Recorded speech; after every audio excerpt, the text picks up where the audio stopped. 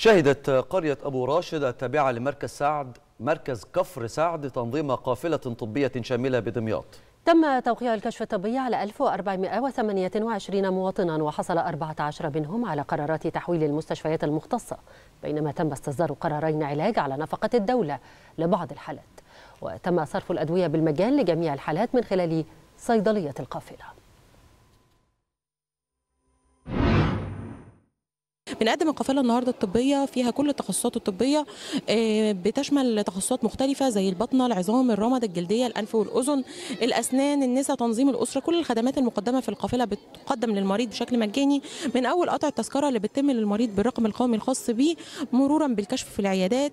آه، لو الطبيب بعد ما بيكشف على المريض لو هو محتاج يحوله جوه القافله لعيادة تانية بيتم تحويله جوه القافله لو هو محتاج يحوله تحويل خارجي لمستشفى من مستشفيات الإحالة عشان ياخد خدمة طبية مش موجودة في القافله فبنستكمل له الخدمة دي في أقرب مستشفى آه، بتقدم الخدمة.